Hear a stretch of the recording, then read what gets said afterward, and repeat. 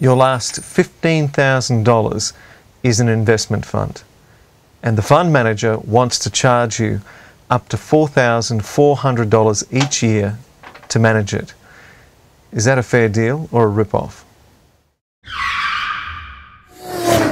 Of course it's a rip-off. The only people who'd get away with charging you a 30% annual management fee on your own money would belong to organised crime gangs, right? On the 12th of September 2012, a manager from the Queensland Office of Public Trustee told this man, Clinton Vandenberg, and myself that they could charge up to $4,400 a year to manage his last $15,000.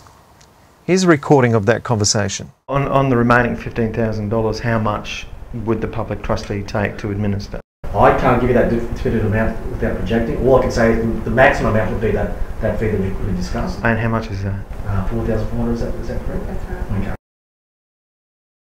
The official records show that over 15 years, the Queensland Office of Public Trustee has charged Clinton more than $77,500 in fees. That's an average over $5,000 a year. The same records indicate that the Office of Public Trustee lost more than $95,000 of Clinton's money in poor investments.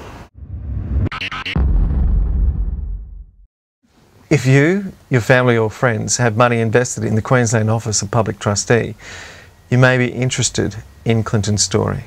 Um, had a major car accident in 1988, 26th of March, um, hit by a semi.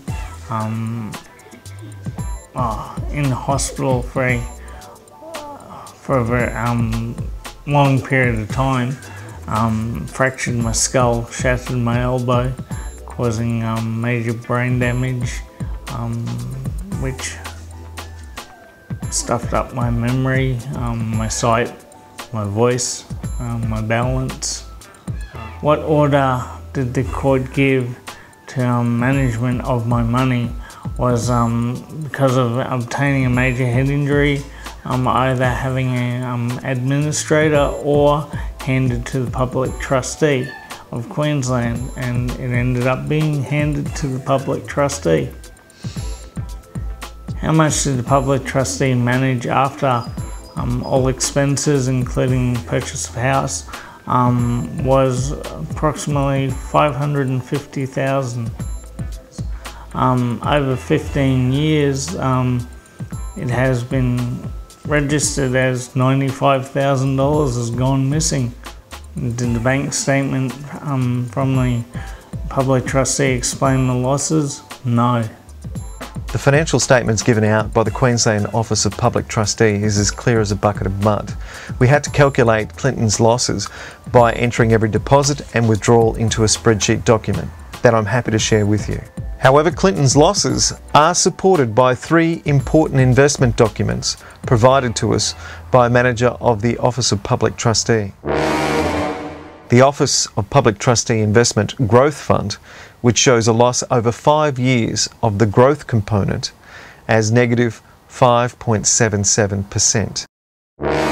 The Office of Public Trustee Investment Higher Growth Fund, which shows a loss over five years of the growth component as negative 7.17%. And the Office of Public Trustee Investment Australian Equities Fund, which shows a loss over five years of the growth component as negative 7.44%.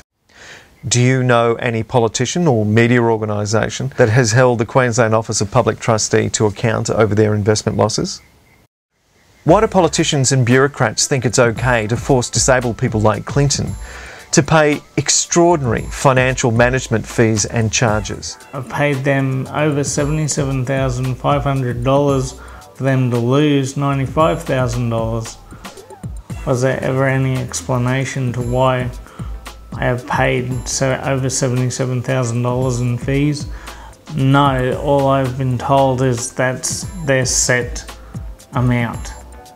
And full stop, just left at that. During the GFC, did Clinton ask the Queensland Office of Public Trustee to better protect his money? Yes, I went in there on two um, or three occasions requesting of them to um, remove my monies from investments to actually protect it and so none's lost. But my um, request was ignored and I was told, oh, just leave it where it is. It's safe where it is. And that was it. There'll be bureaucrats who will argue that everyone lost money during the GFC. But not everyone was forced by law to hand over their assets to the unique management of the Office of Public Trustee. And oh, yes, they are a monopoly in Queensland. Because of the fact there is no competition for them, they monopolise on it. And they can charge whatever they want and in my eyes, illegally justify it.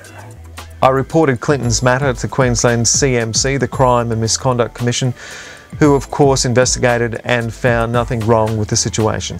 I found I find it basically criminal because the CMC come across as if they're not even interested, that they don't care about the fact of the public trustee doing wrong towards anyone. They think that the trustees have justified everything and that's it. They don't want to push any further. Do I think that the public trustee have used my disability um, against me to hide the losses? Yes, I do. Because of the fact of um, my memory, I can't remember everything and they've played on that, I do believe. There are approximately 10,000 people and over a billion dollars worth of assets being managed by the Queensland Office of Public Trustee. How many of them are being treated like Clinton? Do I think other disabled people have been ripped off by the public trustee? Yes, I do.